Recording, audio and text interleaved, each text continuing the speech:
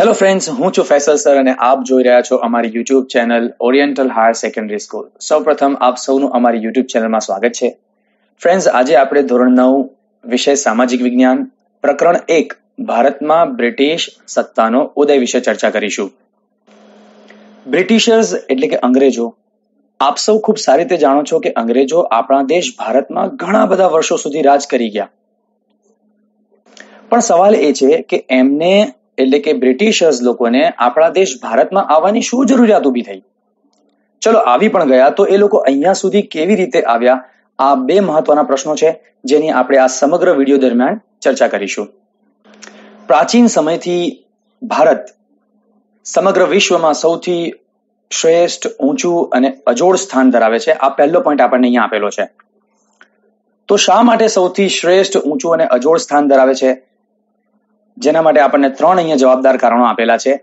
સૌથી પહેલું છે આર્થિક, બીજું છે સાંસ્કૃતિક અને ત્રીજું છે આધ્યાત્મિક. આર્થિક એટલે કે પૈસે ટકે આપણો દેશ પહેલાથી જ સદ્ધર રહ્યો છે. સાંસ્કૃતિક એટલે કે જુદી જુદી સંસ્કૃતિ પાળનારા લોકો, જેમાં અલગ અલગ રીત, ભાત, ખાન, પીન, રહેન સહેન આ દરેક બાબતોનો સમાવેશ થાય છે. અને ત્રીજું કારણ છે આધ્યાત્મિક. એટલે કે ભારત ધર્મની દ્રષ્ટિએ પણ ઘણી બધી વૈવિધ્યતા ધરાવે છે. તો આમ આ ત્રણ અગત્યના કારણો છે કે જેના લીધે વિશ્વના ઘણા બધા દેશના લોકો ભારત તરફ હંમેશાથી આકર્ષાયા છે.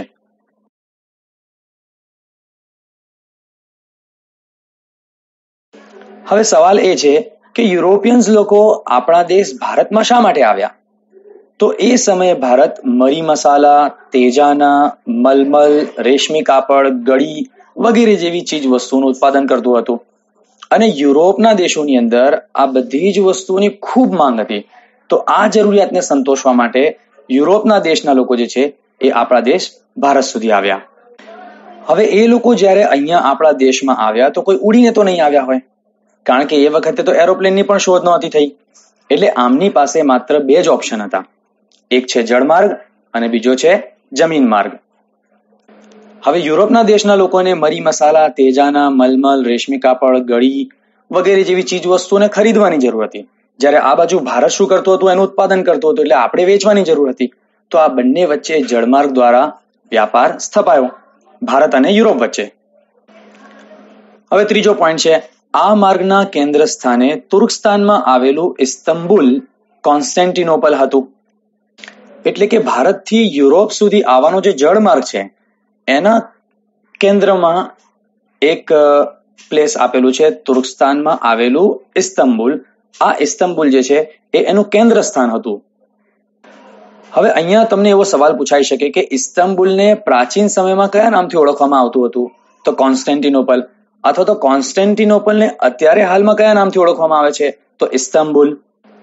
અથવા તો તમને એવો પણ સવાલ પૂછાય કે ભારત અને યુરોપ વચ્ચેના જળમાર્ગનું કેન્દ્ર સ્થાન કયું હતું? તો તમારે લખી દેવાનું છે, તુર્કસ્તાનમાં આવેલું ઇસ્તંબુલ, એટલે કે કોન્સ્ટેન્ટિનોપલ છે.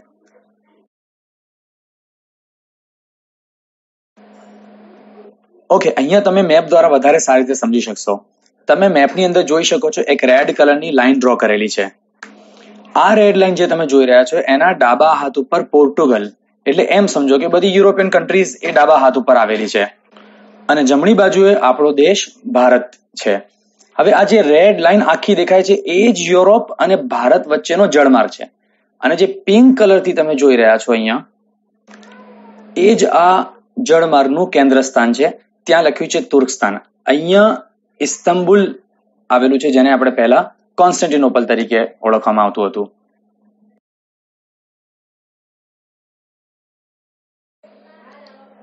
ત્યારબાદ આગળ જોઈએ. ફર્સ્ટ પોઈન્ટ આપણને અહીંયા આપેલો છે. તુર્ક મુસલમાનોએ કોન્સ્ટેન્ટિનોપલ જીતી લીધું. ક્યારે? ઈસવીસન ચૌદસો ને ત્રેપનમાં. સેકન્ડ પોઈન્ટ આથી યુરોપવાસીઓ માટે કોન્સ્ટેન્ટિનોપલ, એટલે કે ઇસ્તંબુલ થઈ ભારત આવવાનો જે જળમાર્ગ હતો, એ બંધ થઈ ગયો. હમણાં જ આપણે મેપની અંદર જોઈ ગયા કે વચ્ચેના ભાગની અંદર એક પિંક કલરનું સર્કલ કરેલું હતું. એ જ જગ્યા છે તુર્કસ્તાન. અને ત્યાં જ કોન્સ્ટેન્ટિનોપલ આવ્યું છે. આ કોન્સ્ટેન્ટિનોપલ કોણે જીતી લીધું? તુર્ક મુસલમાનો જીતી લીધું. એટલે એમણે એ રસ્તો બંધ કરી દીધો. તો યુરોપથી ભારત સુધી હવે આવું તો આવું કેવી રીતે? આ સૌથી મોટી સમસ્યા ઉદ્ભવી. અને બીજું બાજુ કે યુરોપવાસીઓને ટેસ્ટ વગર ચાલે એવું ન હતું. એટલે કે મરી મસાલા વગર ચાલે એમ જ ન હતું. એટલે કે ભાઈ હવે તો નવો જળમાર્ગ શોધવો જ પડશે. અને આ બાબતે આખા વિશ્વમાં એક નવા યુગને જન્મ આપ્યો, જે છે ભૌગોલિક સંશોધનોનો યુગ. અહીંયા એક અગત્યનો સવાલ તમને પૂછાઈ શકે છે કે તુર્ક મુસલમાનોએ કોન્સ્ટેન્ટિનોપલ ક્યારે જીત્યું હતું? એટલે કે કયા વર્ષમાં જીત્યું હતું? તો યાદ રાખજો ઈસવીસન ચૌદસો ને ત્રેપનમાં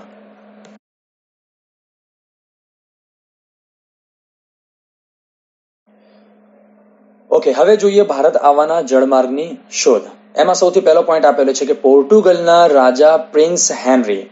એટલે કે પોર્ટુગલના એક રાજા હતા, જેમનું નામ હતું પ્રિન્સ હેનરી. એમની પ્રેરણા, પ્રોત્સાહન અને આર્થિક મદદથી અનેક એવા સાહસવીરો હતા કે જેમણે નવા નવા જળમાર્ગ શોધવાના પ્રયાસો કર્યા.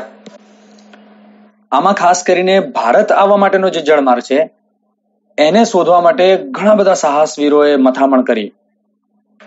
કારણ કે પોર્ટુગલના જે રાજા છે, પ્રિન્સ હેનરીએ, એણે કીધું કે, જાઓ, તમને મારી બધા જ પ્રકારની મદદ આપું છું, પણ તમે ભારત જવાનો જળમાર્ગ જે છે, એ શોધી કાઢો. તો એમાં એક કલાકાર એવો હતો બાર્થોલોમ્બ્યુ ડાયઝ. એ ક્યાં પહોંચી ગયો? કેપ ઓફ ગુડ હોપ નામની જગ્યાએ પહોંચી ગયો.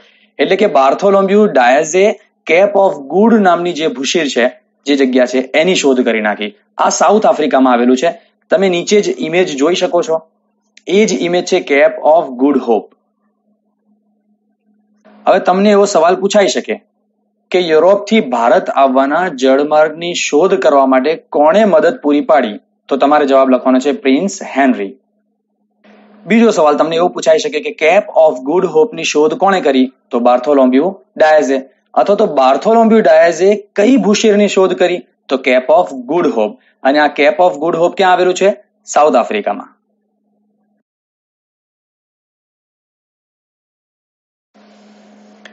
એવી જ રીતે બીજો એક કલાકાર છે ક્રિસ્ટોફર કોલમ્બસ આનું નામ તો કદાચ તમે બધા લોકોએ સાંભળ્યું હશે. બેઝિકલી આ ઇટલીનો રહેવાસી છે, પણ સ્પેનના રાજાએ એને આર્થિક રીતે મદદ પૂરી પાડીને એણે પણ એમને કીધું કે, ભાઈ જા, તું પણ જા અને ભારત જવા માટેનો નવો જળમાર્ગ શોધી કાઢ. તો ચૌદસો ને બાણુંમાં આ ક્યાં આવી પહોંચ્યો? એટલાન્ટિક સમુદ્રમાં આવેલા અત્યારે હાલની અંદર વર્તમાન સમયની અંદર વેસ્ટ ઇન્ડિઝ ટાપુ તરીકે એને ઓળખવામાં આવે છે. ત્યાં આવી પહોંચ્યો. તમે નીચે અહીંયા ઇમેજ આપેલી છે, ત્યાં જોઈ શકો છો. વચ્ચે સેન્ટરની અંદર બ્લેક કલરથી લખેલું છે વેસ્ટ ઇન્ડિઝ અને ઉપરના ભાગમાં લખ્યું છે એટલાન્ટિક ઓશન તો આ ભાગની અંદર આ જગ્યા એ વ્યક્તિ આવીને રોકાઈ ગયો. કોણ? ક્રિસ્ટોફર કોલમ્બસ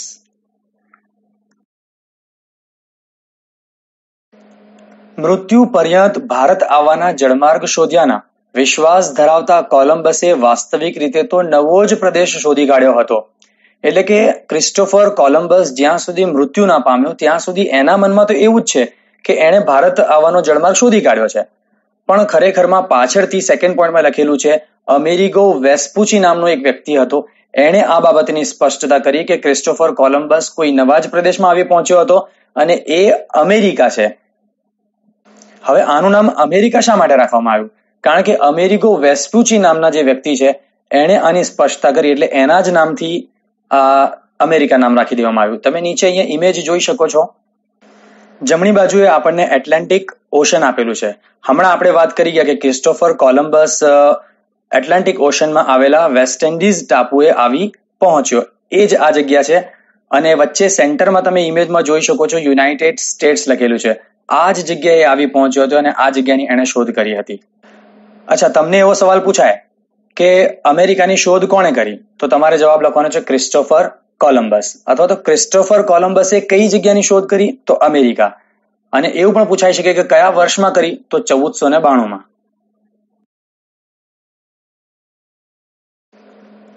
પોર્ટુગીઝ નાવિક વાસ્કુદ ગામાએ ભારત આવવાના જળમાર્ગની શોધ કરી. ઈસવીસન ચૌદસો અઠ્ઠાણુંમાં. એ તેની જાતે નહીં કોઈકની મદદ લઈને અહીંયા સુધી પહોંચ્યો હતો. સેકન્ડ પોઈન્ટમાં આપણને આપેલું છે, કોની મદદ લીધી હતી? ભારતીય ખલાસીની મદદથી. તે ભારતમાં પશ્ચિમ કિનારે આવેલા કાલિકટ બંદરે આવી પહોંચ્યો. તમે નીચે ઇમેજની અંદર જોઈ શકો છો, બિલકુલ સેન્ટરમાં એક ગોળ કલર ગોળ રેડ કલરથી સર્કલ કરેલું છે. આ જ એ જગ્યા છે કાલિકટ. અત્યારે હાલમાં આને કોઝીકોડ તરીકે ઓળખવામાં આવે છે. પહેલાના સમયની અંદર એને કાલિકટ તરીકે ઓળખતા હતા. આ કેરળની અંદર આવેલું છે. તો આ જ એ જગ્યા છે કે જ્યાં વાસ્કો ગામા આવી પહોંચ્યો હતો. હવે તમને કદાચ એક્ઝામની અંદર એવો સવાલ પૂછાય કે ભારત આવવાના જળમાર્ગની શોધ કોણે કરી હતી? તો તમારે આન્સર લખવાનું છે પોર્ટુગીઝ નાવિક વાસ્કો ગામાએ કરી હતી. કયા વર્ષની અંદર કરી હતી? તો ઈસવીસન ચૌદસો ને અઠ્ઠાણું માં કરી હતી. અને ક્યાં આવી પહોંચ્યો હતો? તો તમારે લખવાનું છે કે ભારતમાં આવેલા પશ્ચિમ કિનારે કેરળના કાલિકટ બંદરે આવી પહોંચ્યો હતો.